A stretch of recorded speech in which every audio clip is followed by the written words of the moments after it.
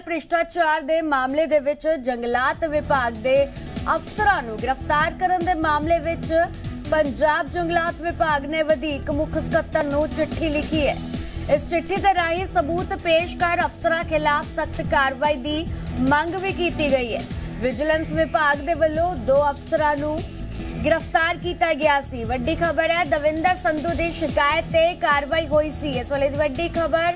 ਪੰਜਾਬ ਜੰਗਲਾਤ ਵਿਭਾਗ ਨੇ ਵਧੀਕ ਮੁੱਖ ਸਕੱਤਰ ਨੂੰ ਚਿੱਠੀ ਲਿਖੀ ਹੈ। ਇਹ ਮਾਮਲਾ ਭ੍ਰਿਸ਼ਟਾਚਾਰ ਦੇ ਮਾਮਲੇ ਦੇ ਵਿੱਚ ਜੰਗਲਾਤ ਵਿਭਾਗ ਦੇ ਅਫਸਰਾਂ ਨੂੰ ਗ੍ਰਿਫਤਾਰ ਕਰਨ ਦਾ ਮਾਮਲਾ ਦੱਸਿਆ ਜਾ ਰਿਹਾ ਹੈ। ਪੰਜਾਬ ਜੰਗਲਾਤ ਵਿਭਾਗ ਨੇ ਵਧੀਕ ਮੁੱਖ ਸਕੱਤਰ ਨੂੰ ਚਿੱਠੀ ਲਿਖੀ ਹੈ। ਇਸ ਚਿੱਠੀ ਦੇ ਰਾਹੀਂ ਸਬੂਤ ਪੇਸ਼ ਕਰਕੇ ਅਫਸਰਾਂ ਦੇ ਖਿਲਾਫ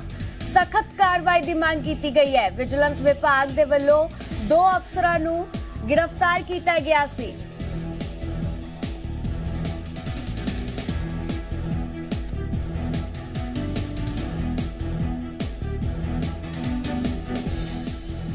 ਵਧੇਰੇ ਜਾਣਕਾਰੀ ਦੇ ਲਈ ਸਾਡੇ ਸਹਿਯੋਗੀ ਅੰਕੁਸ਼ ਕੋਹਲੀ ਸਾਡੇ ਨਾਲ ਜੁੜੇ ਨੇ। ਜੀ ਅੰਕੁਸ਼, ਭ੍ਰਿਸ਼ਟਾਚਾਰ ਦੇ ਮਾਮਲੇ ਵਿੱਚ ਜੰਗਲਾਤ ਵਿਭਾਗ ਦੇ ਅਫਸਰਾਂ ਦੇ ਵੱਲੋਂ ਵਧੀਕ ਮੁੱਖ ਸਕੱਤਰ ਨੂੰ ਚਿੱਠੀ ਲਿਖੀ ਗਈ ਹੈ। ਕੀ ਕਹਿਣਾ ਇਸ ਬਾਰੇ? ਬਿਲਕੁਲ ਜੋ ਲੈਟਰ ਲਿਖੀ ਗਈ ਹੈਗੀ ਹੈ, ਜੰਗਲਾਤ ਵਿਭਾਗ ਵੱਲੋਂ ਐਡੀਸ਼ਨਲ ਚੀਫ ਸੈਕਟਰੀ ਨੂੰ ਉਸ ਬਾਰੇ ਅਸੀਂ ਥੋੜੀ ਡਿਟੇਲ ਚ ਦੱਸ ਦਿੰਨੇ ਆ ਦਰਅਸਲ, ਇੱਕ ਜਿਹੜਾ ਕਥਿਤ ਜੰਗਲਾਤ ਘੁਟਾਲਾ, ਪਹਿਲਾਂ ਤੋਂ ਹੀ ਸੁਰਖੀਆਂ 'ਚ ਹੈ, ਜਿਸ ਤਰ੍ਹਾਂ ਸਾਧੂ ਸਿੰਘ ਧਰਮਸੋਤ ਦਾ ਨਾਮ ਹੈਗਾ ਸੰਗਤ ਸਿੰਘ ਗਿਲਜੀਆਂ ਦਾ ਨਾਮ ਹੈਗਾ ਉਹਨਾਂ ਦੇ ਭਾਂਜੇ ਦਾ ਨਾਮ ਹੈਗਾ ਹੈ ਤੇ ਉਸ 'ਚ ਵੀ ਜਿਹੜਾ ਹੈਗਾ ਹੈ ਆਈਐਫਐਸ ਵਿਸ਼ਾਲ ਚੌਹਾਨ ਦਾ ਨਾਮ, ਨਾਮਜ਼ਦ ਹੈਗਾ ਹੈ ਤੇ ਇਸ ਤੋਂ ਇਲਾਵਾ ਹੁਣ ਇਸ ਚਿੱਠੀ ਦੀ ਗੱਲ ਕਰ ਲੈਂਦੇ ਆ ਜੰਗਲਾਤ ਵਿਭਾਗ ਨੇ ਚਿੱਠੀ ਲਿਖੀ ਹੈਗੀ ਹੈ ਐਡੀਸ਼ਨਲ ਚੀਫ ਸੈਕਟਰੀ ਪੰਜਾਬ ਨੂੰ। ਉਹਨਾਂ ਨੇ ਕਿਹਾ ਹੈਗਾ ਹੈ ਕਿ ਇਹ ਦੋਨੋਂ ਅਫਸਰ ਚਾਹੇ ਆਈਐਫਐਸ ਵਿਸ਼ਾਲ ਚੌਹਾਨ ਦੀ ਗੱਲ ਕਰ ਲਈਏ ਜਾਂ ਫਿਰ ਗੱਲ ਕਰ ਲਈਏ ਡੀਐਫਓ ਡੀਐਫਓ ਗੁਰਮਨਪ੍ਰੀਤ ਸਿੰਘ ਦੀ। ਇਹਨਾਂ ਖਿਲਾਫ ਉਹਨਾਂ ਨੇ ਕਿਹਾ ਕਿ ਬਹੁਤ ਸਬੂਤ ਹੁਣ ਜਿਹੜੇ ਆ ਚੁੱਕੇ ਹੈਗੇ ਆ ਕਰਪਸ਼ਨ ਦੇ ਤੇ, ਲੇਕਿਨ ਇਹਨਾਂ ਤੱਕ, ਇਹਨਾਂ ਦੇ ਉੱਪਰ ਹੁਣ ਤੱਕ ਡਿਸਪਲਿਨਰੀ ਐਕਸ਼ਨ ਜਿਹੜਾ ਹੈਗਾ ਨਹੀਂ ਹੋਇਆ। ਡਿਸਪਲਿਨਰੀ ਐਕਸ਼ਨ ਦੀ ਮੰਗ ਕਰਦੇ ਹੋਏ ਲੈਟਰ ਜਿਹੜਾ ਹੈ ਐਡੀਸ਼ਨਲ ਚੀਫ ਸੈਕਟਰੀ ਨੂੰ ਲਿਖੀ ਗਈ ਹੈ ਔਰ ਉਸ 'ਚ ਤਮਾਮ ਚੀਜ਼ਾਂ ਕੀਆਂ ਗਈਆਂ ਨੇ ਕਿ ਜਿਹੜਾ ਇਹਨਾਂ ਦੇ ਰੂਲਸ ਹੁੰਦੇ ਆ ਮੈਨੂਅਲ ਹੁੰਦਾ ਹੈ ਫੋਰੈਸਟ ਵਿਭਾਗ ਦਾ, ਉਸ ਦਾ ਵੀ ਜਿਹੜਾ ਉਲੰਘਣ ਇਹਨਾਂ ਦੋਨਾਂ ਅਫਸਰਾਂ ਵੱਲੋਂ ਕੀਤਾ ਗਿਆ ਹੈਗਾ ਕਿਉਂਕਿ ਜਿੱਥੇ ਸਿਰਫ ਫੈਂਸਿੰਗ ਅਲਾਉਡ ਹੁੰਦੀ ਹੈ, ਉੱਥੇ ਟ੍ਰੀ ਗਾਰਡਸ ਲਗਵਾਏ, ਉੱਥੇ ਟ੍ਰੀ ਗਾਰਡਸ ਅਪਰੂਵ uh, ਕੀਤੇ ਇਹਨਾਂ ਨੇ। ਹੋਰ ਵੀ ਕਈ ਜਗ੍ਹਾ ਕਹਿੰਦੇ ਮੈਨੂਅਲ ਚ ਮੈਨੂਅਲ ਤੋਂ ਵੱਖ ਜਾ ਕੇ ਰੂਲਸ ਤੋਂ ਵੱਖ ਜਾ ਕੇ ਜਿਹੜਾ ਹੈਗਾ ਪਲਾਨ ਜੰਗਲਾਤ ਦੇ ਪਲਾਨਸ ਅਪਰੂਵ ਕੀਤੇ। ਇਸ ਤੋਂ ਇਲਾਵਾ ਦੱਸੇ ਕਿ ਦਵਿੰਦਰ ਸਿੰਘ ਦਵਿੰਦਰ ਸਿੰਘ ਨਾਮ ਦੇ ਇੱਕ ਸੈਕਸ਼ਨ ਹੈ ਇਸ ਇਹਨਾਂ ਦੇ ਖਿਲਾਫ ਕਰਾ- ਇੱਕ ਕਰਪਸ਼ਨ ਦੀ ਜਿਹੜੀ ਸ਼ਿਕਾਇਤ ਦਿੱਤੀ ਸੀ, ਉਹਨਾਂ ਨੇ ਕਿਹਾ ਸੀਗਾ ਕਿ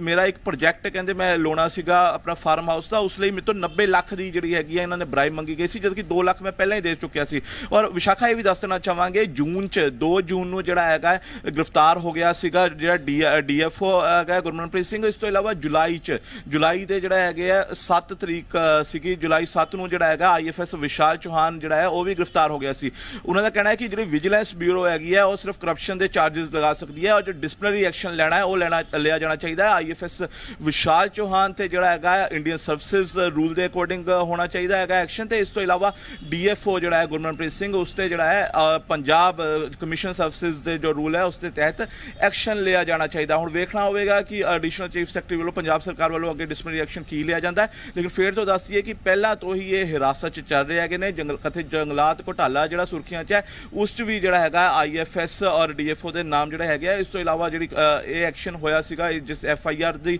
ਅ, ਜ਼ਿਕਰ ਐਫਆਈਆਰ ਦਾ ਜ਼ਿਕਰ ਕੀਤਾ ਗਿਆ ਹੈਗਾ ਇਸ ਲੈਟਰ 'ਚ। ਉਹ ਜਿਹੜਾ ਹੈਗਾ ਦਵਿੰਦਰ ਸਿੰਘ ਦੇ ਨਾਮ ਤੇ ਦੀ ਕੰਪਲੇਂਟ ਤੋਂ ਹੀ ਜਿਹੜਾ ਹੈਗਾ ਉਸ ਦਾ ਉਲੇਖ ਕੀਤਾ ਗਿਆ ਹੈਗਾ ਕਿ ਦਵਿੰਦਰ ਸਿੰਘ ਦੀ ਜਿਹੜੀ ਕੰਪਲੇਂਟ ਸੀ ਉਸ 'ਚ ਵੀ तमाम ਜਿਹੜੇ ਹੈ ਸਬੂਤ ਮਿਲ ਗਏ ਸੀਗੇ ਇਸ ਤੋਂ ਇਲਾਵਾ ਜੰਗਲਾਤ ਵਿਭਾਗ 'ਚ ਜੋ ਫੈਂਸਿੰਗ ਦੀ ਜਗ੍ਹਾ ਤੇ ਉਹਨਾਂ ਨੇ ਟਰੀ ਗਾਰਡਸ ਲਵਾਏ तमाम ਘੁਟਾਲੇ ਅ, ਇੱਕ ਡਾਇਰੀ ਵੀ ਜਿਹੜੀ ਬਰਾਮਦ ਹੋਈ ਸੀ ਕਿ ਹਰ ਇੱਕ 'ਚ ਉਹਨਾਂ ਦਾ ਨਾਮ ਹੈਗਾ ਕਾਫੀ ਸਬੂਤ ਹੈ ਤੇ ਡਿਸਪਲਿਨਰੀ ਐਕਸ਼ਨ ਇਹਨਾਂ ਦੇ ਖਿਲਾਫ ਹੋਣਾ ਚਾਹੀਦਾ ਹੈ ਇਹ ਲੈਟਰ ਜੰਗਲਾਤ ਵਿਭਾਗ ਵੱਲੋਂ ਐਡੀਸ਼ਨਲ ਚੀਫ ਸੈਕਟਰੀ ਨੂੰ ਲਿਖੀ ਗਈ ਹੈ ਅ, ਜੀ ਅੰਕੁਸ਼ ਜਿਸ ਤਰ੍ਹਾਂ ਇਸ ਚਿੱਠੀ ਦੇ ਰਾਹੀਂ ਸਬੂਤ ਪੇਸ਼ ਕਰਕੇ ਅਫਸਰਾਂ ਖਿਲਾਫ ਸਖਤ ਕਾਰਵਾਈ ਦੀ ਮੰਗ ਕੀਤੀ ਗਈ ਹੈ ਜਿਹੜੇ ਦੋ ਅਫਸਰ ਗ੍ਰਿਫਤਾਰ ਕੀਤੇ ਗਏ ਨੇ ਕਿ ਉਹਨਾਂ ਖਿਲਾਫ ਕੋਈ ਸਬੂਤ ਵੀ ਇਹਨਾਂ ਨੂੰ ਬਰਾਮਦ ਹੋਏ ਨੇ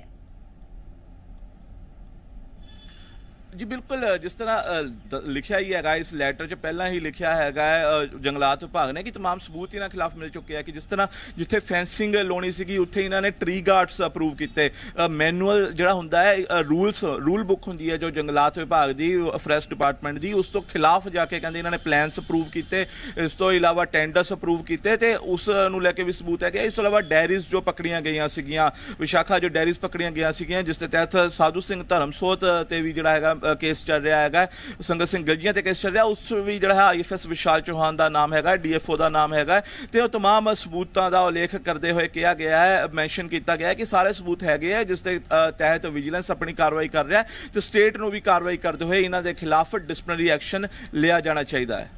ਜੀ ਅੰਕੁਸ਼ ਗ੍ਰਿਫਤਾਰੀ ਤੋਂ ਬਾਅਦ ਹੁਣ ਅਦਾਲਤ ਦਾ ਅਗਲਾ ਕੀ ਕਾਰਵਾਈ ਹੋਵੇਗੀ ਕਿ ਇਹਨਾਂ ਲਈ ਕੋਈ ਸਜ਼ਾ ਦਾ ਵੀ ਐਲਾਨ ਕੀਤਾ ਜਾ ਚੁੱਕਿਆ ਹੈ